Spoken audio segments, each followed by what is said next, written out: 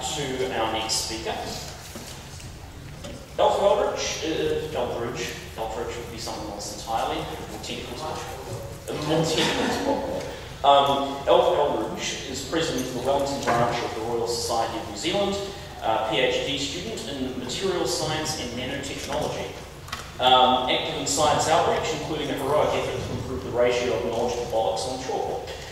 Um, he's going to be talking about how to improve the level of public science literacy and is actually going to bring some science to the question, which is, well, good for the novelty value, nothing else, right? All right, so uh, everybody please welcome Elf Eldridge.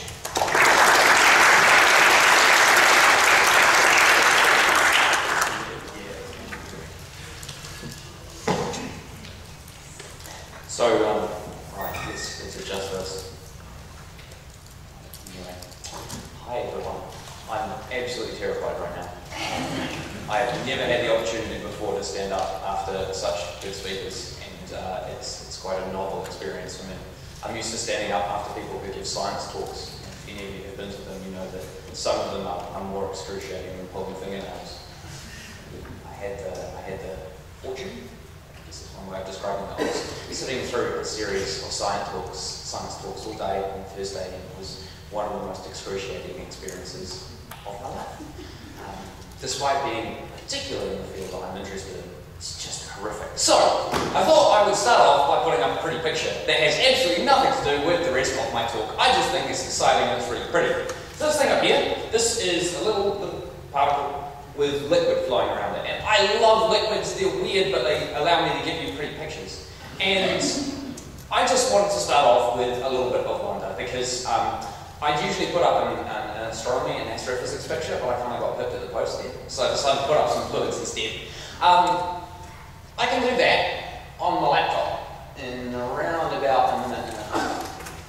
Now, from inside the lecture theatre, with, with no other outside resources, and I think that's really, really cool, because I can also do that for a wide range of different length scales, and while the picture is pretty, it tells me all sorts of strange, wonderful phenomena about the world. Now, that's not something that could have been done even two or three years ago. You wouldn't have required a supercomputer, you would have required a number of web pages because of the way it was written. But the software I used to write this was written by a researcher at NIWA. Now, almost every New Zealander I talk to has not only never heard of this guy, half of them haven't even heard of NIWA. And for you um, non-New Zealanders, NIWA is our National Institute of Water and Atmospheric Research. This is cutting-edge fluid dynamics, which is absolutely awesome, and most people in our country have no idea, A, that we can do it, and B, that it was refined, if not invented, here. So, now we've got all the boring science out the way. I thought I'd put up a picture of me dressed as a pirate. Um, I, first and foremost, am a PhD student. That's, that's what my 9 to 5 job is. Um, I also like wearing hats. And I hope, hope to kind of convey the number and different types of hats I wear during this talk, and I apologise if it comes off as a bit of a list. But my favourite hat to wear, without a doubt, is my pirate hat. Because on September the 19th, every year, just regardless of what I'm doing, and it has led to some odd situations, I always dress up as a pirate. Uh, because when I was little, I remember, kind of made a deal with myself. And I said, if I can't, if I do this, if I, if I have a job, and I can't turn up just one day a year dressed as a pirate, then I think my job sucks. So a few years ago I decided to start it and I haven't stopped doing it since. It's almost September the 19th and I encourage you to, if not dress as a pirate, think about doing it one day. And if you find yourself stuck in some government job with the minister breathing down your neck, as, as I worry that I might do one someday, and you can't wear fun clothes to the office, then you should do more science not a lot of logic in that, but it's fine, so we'll go with that. Um, other thing I should mention is the only reason I can do all this other stuff I'm going to talk about my talk is because of the huge amount of support and coaching I've had from the New Zealand science community, and in particular, the McDiarmid Institute for Advanced Materials and Nanotechnology. They're a core, they're a Centre for Research Excellence, they're funded through the Tertiary Education Commission, and they have a remit, part of their bid is to do good science communication, good science outreach. That's how I got into it. But most of you have no idea who I am, I'm hoping. Um, this is my dad. This is my favourite photo of my father. It's nothing like him at all, but I love the fact that he's, he's actually standing uh, in the middle of a field, in, in the middle of about two and a half thousand acres of farmland, wearing a party hat blowing bubbles. That's my genetic lineage right there. and the apple hasn't fallen too far from the tree. But um, to give you a bit of background, I, I grew up uh, as a farm boy over, over in the Wairau. Um, and growing up hands buried in a cow's bum or in a sheep's mouth or covered in shit and blood and the entrails, as happened to me on numerous occasions, gives you a, a really different view of the world to most people you run into. And then going from that into science has also skewed it. But this picture here describes how I kind of started out. I grew up on a farm, I love working with animals, despite being covered in shite and guts most of the time, and I decided I was going to be a vet. Uh, so I studied really, really hard, I did, um, passed undergraduate papers-ish, got into vet school and then was kicked out for not having marks that were good enough, at which point I kind of lost it, and when, this was when I was about 18 or 19, I wanted to be a vet since I was six. And they kicked me out. I literally, literally had no idea what I was going to do with my life. I hadn't even considered other options. It's, it's not entirely true. When I was, before I was six, before I wanted to be a vet, my dream job was to sell ice creams on the moon. Um, six, I realised that that wasn't necessarily the career track I was hoping for. Uh, and now I realise that there's a couple of physical limitations around that as well. Um, but I really had no idea what to do. But conveniently, I had fallen in love with physics and biology, being taught by the crazy people at Massey, and one of them is actually from the McDiarmid Institute. I'll always remember the first day I walked into his class, and he walked in. Sorry, I'm going to mime this bit because I won't my mind. This is the first day of my physics class. Guy wearing a Hawaiian shirt, right? Khaki shorts, socks, and sandals you know where this is going if you've seen the physicist. He wanders in, has long straight hair down here. His name is Bill Williams or Martin Williams. He goes like this. Ah! He starts the run right the way around the lecture theatre.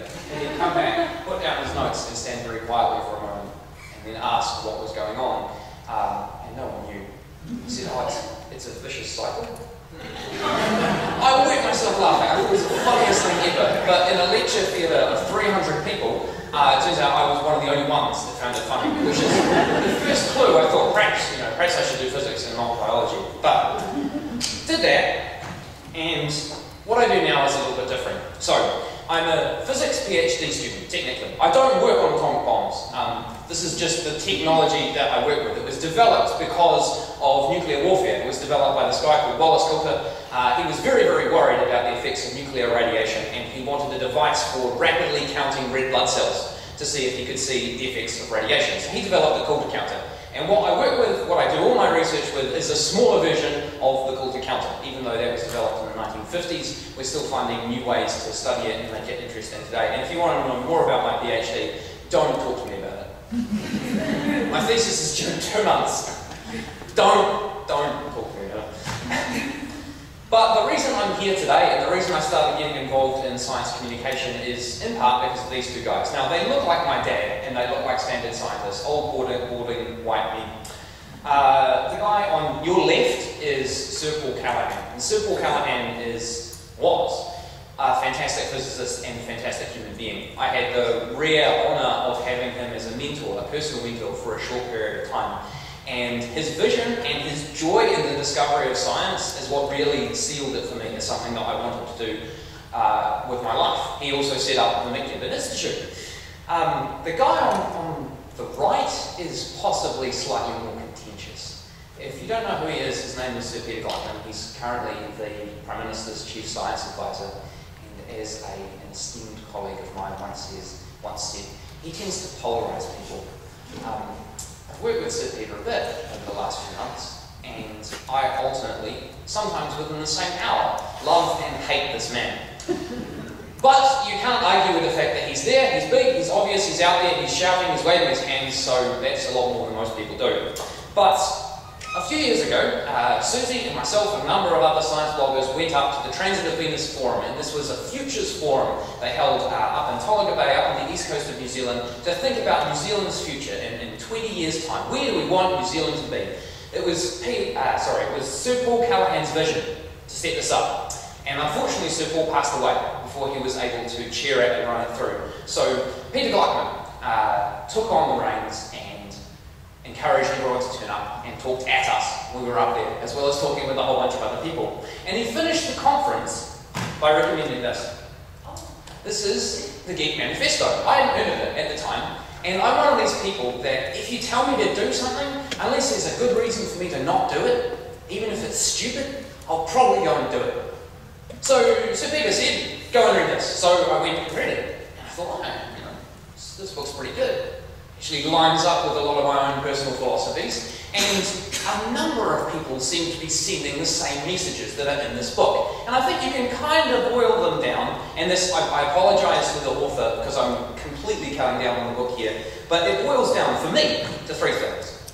The first is education, and I'm talking about science education or critical thinking of the public with humorous connotations. So I've been in the education system forever. I think parts of me are becoming fossilised to chairs at Victoria University at the moment because I've now, now been at Victoria for nine years. Before that I was at school and it feels like I will be a student forever, I guess. But it's something that I'm quite passionate about and something that I'm quite interested in. The second is inspiration. As in science, and in science, uh, this is easy, right? This is choose. What, what example do you like? These are two of my favourites. So the Curiosity rover. I was out at a careers fair a couple of weeks ago in Wainuiomata, and I got up and I, I had all my speech planned and everything, and I never stick to them, so I don't know why I bother to write damn things. Um, I stood up and I said, "This engineering and science are a good career choice," and then I felt my soul kind of crack and break inside because it's so not a me thing to say. And I said, There's a robot on Mars. It's driving around all by itself. It took a photo of Mars's moons going in front of each other. And people are like, Yeah, yeah. I'm like, No, that's not the right response. yeah, sure, that's fantastic. Yeah, sip my coffee one of the single most incredible feats in human endeavour, and it's just something that appears on a scroll, um, you know, a sidebar of stuff. It's just something, science is now just something that happens. Discovered the Higgs boson, get brand new maps of the microwave background radiation of the entire visible universe. And it's like, oh yeah, that's a pretty picture. I wonder what the Dominion Post comic is today. And this, this weirdness just does my head in. I, I don't get it, but I like bats. I love, absolutely love bats. So these are one of my other favourite things. Because um, a lot of the outreach that I do, I find space stuff really cool, but some of it is kind of hard to understand. And bats are really easy to understand because they're terrifying and also really cute. So this is a vampire bat. Uh, they have a little receptor on their nose that allows them to see into the infrared. That's the capsaicin receptor you can see on the left. Um, it also turns out it's almost identical to the chili receptor that you have on your tongue. So imagine that. Imagine being able to see with your nose like you taste with your tongue, but having it translated for your brain so it turns into some kind of vision. And using that to land on a cow and then figure out where you're going to bite it. This isn't just kind of general hand wavy infrared. This is really, really specific and kind of gross. So this is where growing up on the farm has given me a, a, a, wonderful ability and a horrible burden at the same time. See, I have no idea where the gross line is, and I completely cross it all the time without, without any regard for human sanity or safety. But inspiration comes from everywhere, and if you haven't seen this, I had to put this up. It has no relevance to the talk. This is a map of the arXiv. The arXiv is uh, an online, non-peer reviewed, which is why it's bad, but you know, we, have it, so and there's people trying to apply peer review to it. It's uh, a map of 80, 870,000 articles that are on the arXiv. This is only one small section of science, and I apologize, I couldn't get a higher resolution image. But the different colors are different regions of science. So your bottom left, yeah. That's math. That's pure math. Math for math's sake. The pinky thing up to the right, that's astrophysics. All of it. The blue stuff in the middle is high energy particle physics. It's the stuff that ties it all together. And that's just one part of science. You imagine trying to do this for biology, and I honestly don't believe you could. Just because everything is so connected, you need at least a three-dimensional map, if not going up to nth dimensions. This is, uh, this is Paperscape. Have a look at it. it. It only just got released through The Guardian a couple of days ago, but I hope this is going to go places because it looks amazing, even if you don't understand any of it, like me. The final part is critical thinking. And I'm hoping I don't have to tell a conference of skeptics why the proliferation of critical thinking is important for both human beings, uh, for society as a whole, and for individuals. Critical thinking is really important, particularly when children are involved. So, these are the three things that Geek Manifesto told me I had to go and do. Um, but it's kind of hard because, in my heart, if I'm honest, I'm have a, have a look at this wonderful comic that I love. Um, I'm a scientist, not a science advocate. And for me, just being able to do something is plenty of reason to kind of do it sometimes. Even if it has no reason, just because it is fucking awesome. and it's become a huge learning curve for me to try and to translate that to people who aren't scientists, who need good reasons to fund and go and do things. So, this is my adventures into that. I'm an experimentalist. I'm horrible at math even worse at theory. So the only thing I figured I could do is go out and try some of these things. So I started, I got a job at Carter Observatory, that's where I work, and here's my plug, this is the only marketing in my talk. Um, Pamela Gay and I are, mostly Pamela, uh, I'm giving a talk at Carter Observatory, um, on, she's giving a talk on the preservation of our dark skies on Wednesday evening next week, so come along. Then I'm trying to break the planetarium software by soaring through the Milky Way and looking at pulsars and the proliferation of globular clusters and other bits and pieces because it's freaking awesome. And you should come. Um, Peter and the rest of the Sciblogs team were so kind enough to give me a blog, which I now hardly ever use, but I blame that on my thesis, not because of anything else. Um, and if you haven't come across Sciblogs, it's an amazing site. Go, just have a look. Lose a day on it, learn something. Um, meet some of our amazing scientists.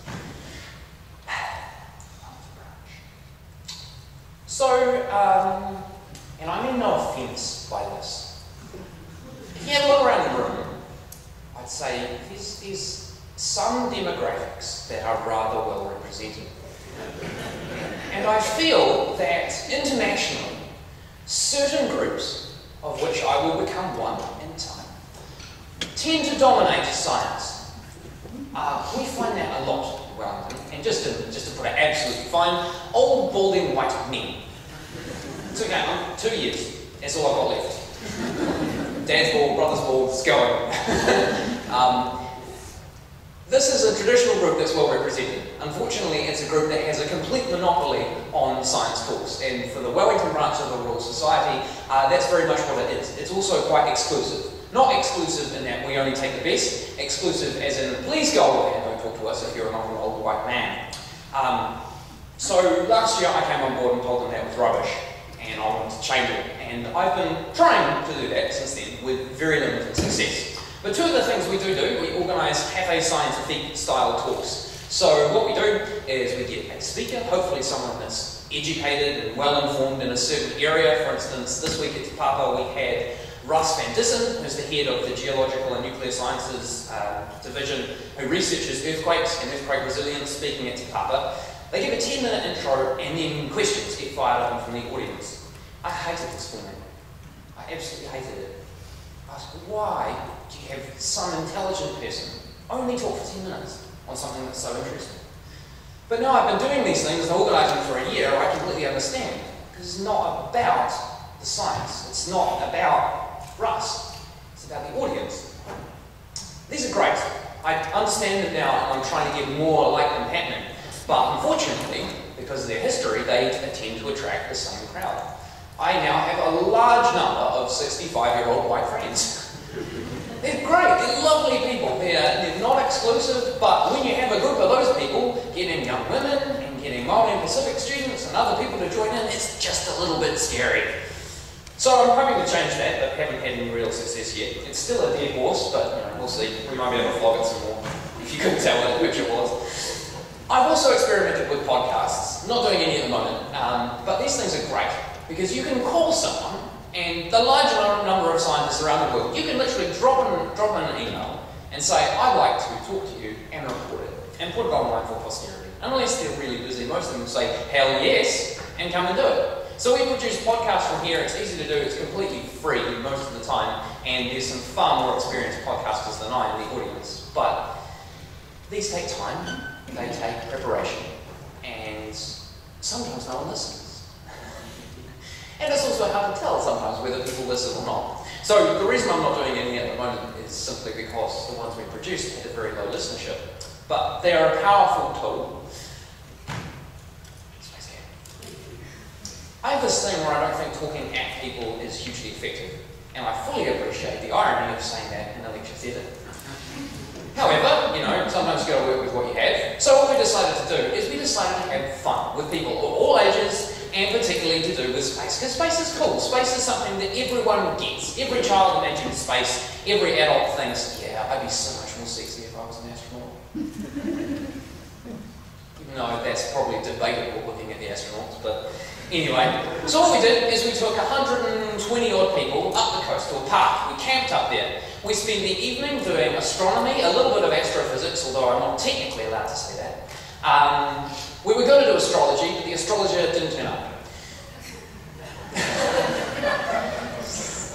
I don't know, perhaps they were a Sagittarius. It's terrible joke, I don't know what Sagittarius is like.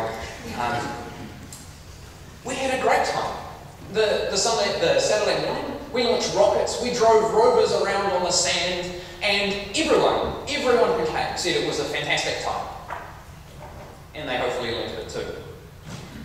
But we also do other stuff. Uh, we've also, along with Chalkle, which is uh, the local group that are helping do these things, although now they seem to do a lot more pseudoscience than they do actual science, but that's by the by, we did a group of 40 odd people, all different ages, all different genders, messing around with biology. And this is basic stuff. This is swallowing the inside of your mouth, staining it, and seeing what you can see under a microscope. Stuff that I'm sure many of you will have done in schools.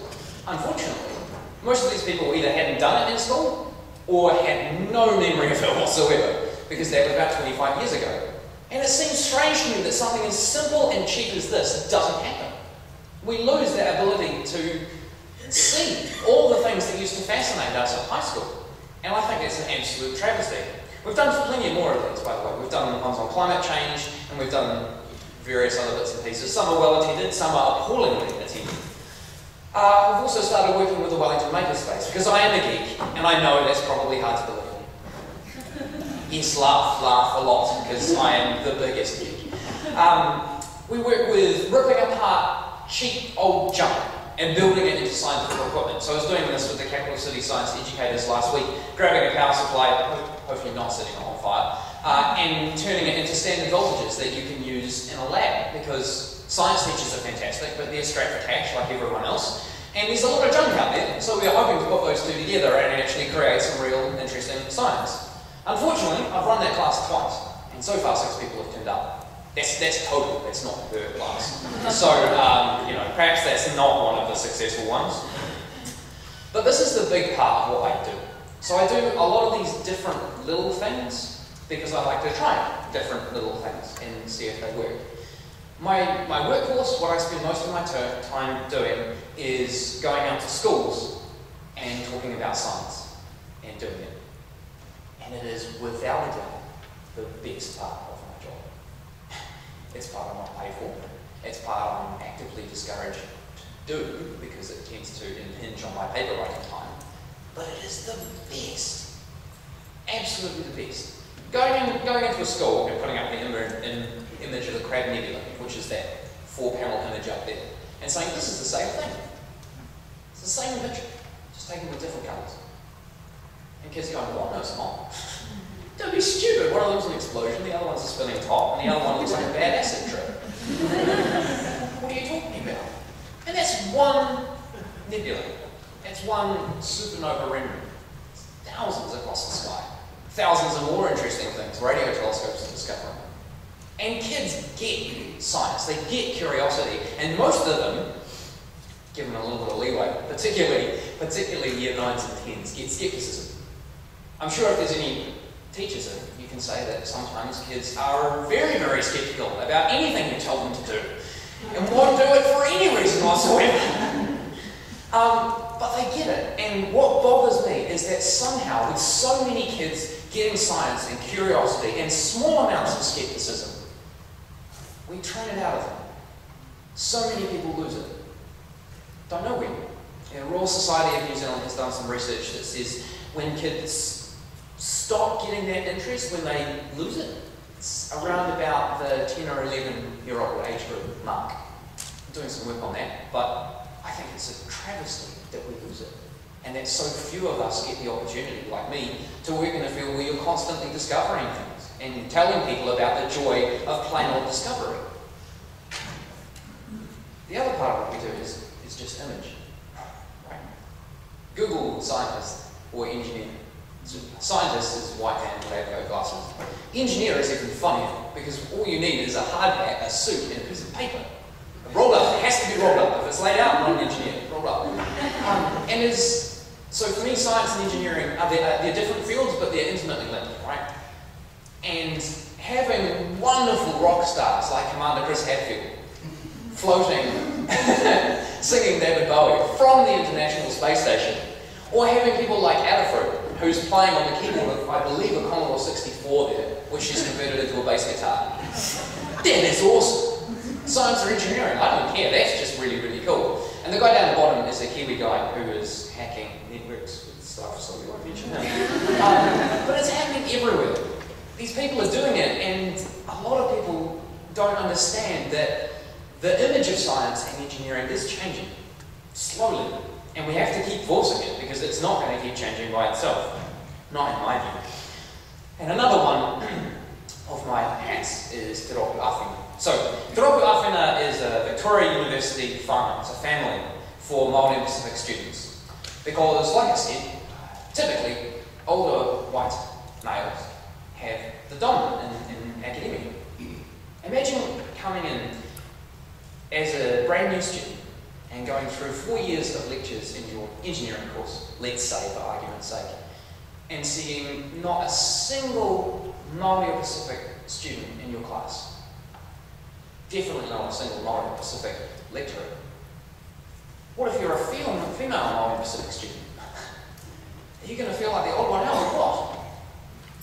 So a lot of the work that I do is talking to my Pacific students, trying to tell them that this is a career pathway that they can achieve, because they're certainly not stupid, and trying to acclimatise them to the traditional Pākehā environment. And unfortunately, I'm an old white male. I'm not the one that should be telling them this. And anything that comes out of my mouth is completely rubbish with regards to how they feel and how they experience a lot of the education that some of us take for granted.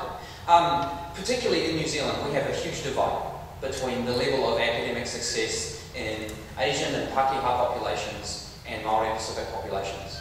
There's, there's data on it everywhere. Uh, a good link in an article that we tried to do some studies on our effect is down the bottom there. You can talk to me afterwards if you want a free copy because it's behind a paywall. Um, but this is a really serious issue, particularly as those two demographic groups grow. One is growing at a much, much faster rate than the other, and I'm willing to bet you can all guess which one it is. And here's the thing. I don't actually believe that any of this stuff has any measurable effect. And I find that terrifying. All the stuff that I do, I do it in part because it's fun. Another part I do it because I believe in it. I'm very, very skeptical at the long-term social effect that it actually has. So let me try and explain why, because that's horrible statement. I don't like making it. Well, I do because it's contagious. but the biggest problem I have found behind it is that, particularly in McDiarmid and in New Zealand, we pride ourselves about doing quality science. Right? If you put us in the fields of engineering, physics, astrophysics, biology, our science is good. It's as good as the rest of the world for some researchers, It's not mine, but you know, the people I work with, they're all good scientists. What's one bad apple counts for a whole lot, surely. But with outreach, we don't measure it. We've barely even started to try. I can tell you how many people turn up to my talks. I can't tell you how many of those people go away and have their opinions changed. More importantly, with the talks that I hold, including Cafe Scientifique and Science Express, it's the same demographic. The same people turn up every month. And that's great. That makes me feel wonderful about myself. But unfortunately, that's not getting to any of the people that need that information. And the reason I care is that if we don't get the information out to the people that need it, and if it doesn't go in and if it doesn't stay there, then there is a chance that people like me, particularly are actually part of the problem, not part of the solution. I hope I'm not being too contentious here, but I believe skepticism about everything is good. And that includes skepticism about my own efficacy and the efficacy of science outreach in general. And I do not believe that it is anywhere near as effective as we are led to believe. And that's because I think, for me, it's, it's based on two assumptions. If you go and you organise science outreach, a science outreach event, one assumption is that giving people more, better quality information leads to them making better decisions. Of all the people you know, how many does that accurately describe? I know the probability of me winning lotto, and yet occasionally, when I'm written down, I will go and buy a lotto ticket. Even though it makes no sense at to me um, or to many other people. Sometimes decisions aren't based on good information. And the other assumption is that if you give people information, they will remember it. And that's just straight up wrong. Well, incomplete. Because a lot of studies are showing, and I apologise, I'm really looking forward to Matt's talk from the psychology department. Um, a lot of research is showing that what you retain, what you remember, is not necessarily linked to the factual basis behind that piece of information. I'm wearing a red shirt. I can almost guarantee that that will have some impact on how well you remember me and the facts that I supposedly spout during this talk. Probably has something to do with how much handwriting I'm doing as well, or not doing. There are so many factors that influence what we retain and what we remember that we aren't accounting for and we aren't even studying. Yet we spend all this time doing outreach without knowing any of them. Um, these are some examples. Um, I'm going to point out here that I am not a psychologist or a sociologist. I've done a small amount of reading and take everything I say here with a grain of salt. I want to make that absolutely explicitly clear because I'm one of these physicists that's going into an area that I shouldn't. And uh, you can see how that ends up with some of the Nobel Prize winners. Challenging someone's belief, even if you provide it with evidence, doesn't always change their opinion. Sometimes when you push someone's back up against the wall, it just gets their hackles up and entrenches it more. There's plenty of studies showing that. Memorability of information, as I said, is only in barely linked to how factual that information is. And a wonderful piece of research that Peter, Peter Griffin from Science Media Centre sent out last year shows that the repetition of, of myths, mostly when we're trying to debunk them, right? Homeopathy is bad, homeopathy is bad, homeopathy is bad. If you repeat it enough, they just remember the homeopathy. They don't remember the is bad bit, which one would argue might be the important bit. We need to be really careful when we do science outreach that we're doing the right stuff. Because there are a lot of ways in which we could, and probably are, making the problem worse. And humans are just complicated, you know?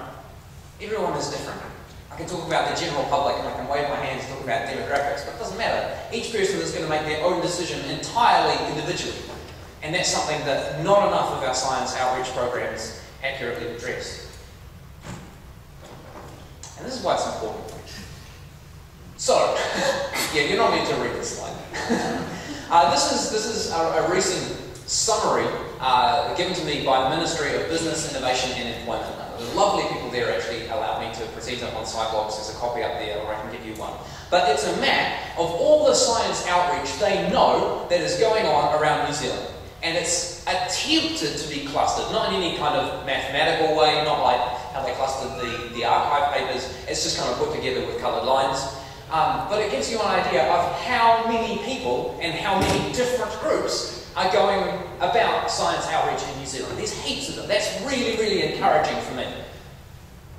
But almost none of them are actually studying it and looking how effective they are. and trying to make themselves more efficient in the outreach that they do. And so a huge pool of government money is going into funding this stuff. That's great, that's fantastic, I believe in it. But I'm not convinced that all of it is making things better, rather than making it worse. So, and I apologise because I've gone much quickly, much more quickly than I intended to, but hopefully there's time for discussion and questions anyway. I need your help. Because this is something, hopefully, obviously I passionately believe in. I don't know anything about testing. I know a little bit about evidence gathering, and I know when it's not going on, and that's what's happening here. But if you have any ideas, any suggestions, any hypotheses, hypotheses that you think we could test, I would genuinely love to hear about them. Because we need, we need, and by we, I mean the human species. I don't just mean Kiwis. That would be a nice place to start. But the human species in general, we need to figure out how to make this work. Because it's not just a matter for us. Again, hopefully most of you have seen this. It's the image of Earth taken from Saturn. And they're trying to uh, semi-recreate the, the pale blue dot photo that Carl Sagan had with the Voyager 2, one of the Voyager probes that was going past Saturn. That dot with the arrow going to it on the left is Earth. That's, that's, that's the whole thing. You've already seen today the implications of climate change, whether you're a skeptic or whether you're a believer or doesn't matter. Our home is a spaceship, and it's the only spaceship we have. Okay, we have a few others, but they were last operational with humans to Mars. That, that was back in the 70s, right? It was quite some time ago. And I think if we tried to fit six billion people onto, say, Apollo 11, we might have a little bit of a problem. It's a spaceship that we desperately need to look after and we desperately need to understand better. Even if something like climate change and the predictions are completely out the window, it doesn't matter. Over long scale time periods, the Earth's climate changes dramatically. And at some point, we are going to have to take control of our spaceship and decide what we want it to look like. And this is, in all likelihood, not going to be on the time scale of hundreds of millions of years. For it to be habitable to humans and fun for us to live in and work around, the time scale is much smaller. So this is something that we need to instill. And I want to learn, hopefully, how to do it better by being a little bit curious about us and how we learn. But I'm going to finish up there. I hope you have enjoyed my talk. I apologise for the hand waving person. Um, are there any questions?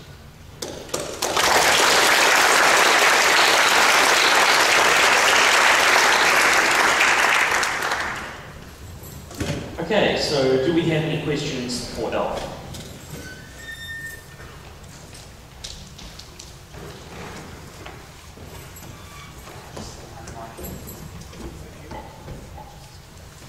Thank you very much for your talk. Um, what comes to my mind when I hear you trying to um, get into an outreach position with science in New Zealand, it may well apply to the rest of the world, I don't know, but I live here. So, in a New Zealand context, it would seem to me that there is a huge vacuum in the public broadcasting area of science. So, is there any um, sign of interest from a public broadcaster in science and science education?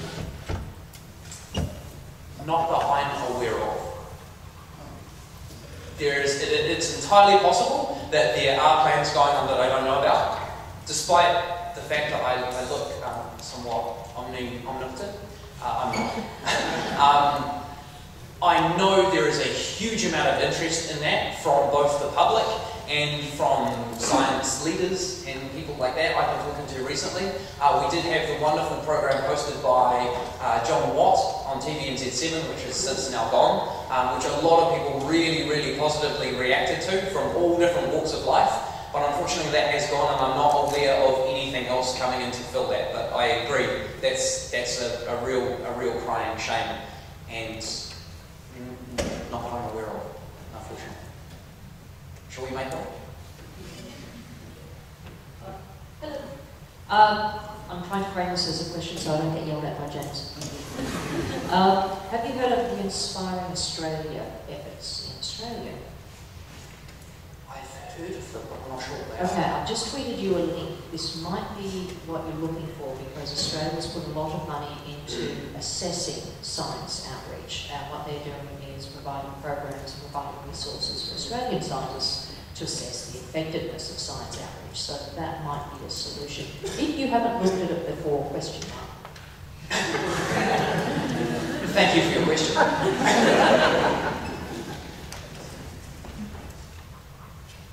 Uh, Elf, one of the things that I don't think you touched on in, in this, but is potentially one of the biggest or most expensive science outreach things that's happened in the last year in New Zealand is the National Science Challenges. And you were involved on the panel alongside Sir Peter Gluckman and other scientists evaluating some of the proposals and looking at what could be the top 10 science challenges.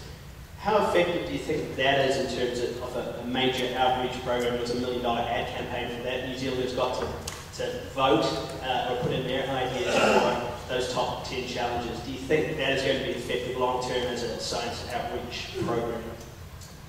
Uh, That's a really, really good question, Peter. Uh, I'm, I'm split in two minds about it. Uh, a number of people I've spoken to said, oh yeah, those were the ads with the pink haired girl, right? And had no idea they were actually asking for information at all. Other people said, yeah, no, I thought long and hard about it, and I wrote in a really detailed proposals, which I was then able to read, uh, that were really, really compelling. And it's, it was always going to be a, re- I don't know if I should say that. Screw it, say it anyway. Um, it was always going to be a really tough ask to do, particularly on time frames and budgets. Um, and I'm glad that it has been done. It would be amazing if it kept happening. Um, sorry, I'm trying to really, yeah, a contract saying I won't talk too much about it's something I believe could be effective. Uh, it would be a really expensive way of continually doing it, but even as recently as I have a Victoria advert on TV with me at the moment, and the impact of that, because I'm isolated in my own little world, don't watch TV, um, the impact of just something like a, a one and a half minute advert on TV to such a broad demographic range is so far above and beyond uh, what I could have even imagined. I think if that's something that we seriously want to look at, there would be few better ways of, of starting a dialogue process. But it would need to be continuously done, I feel.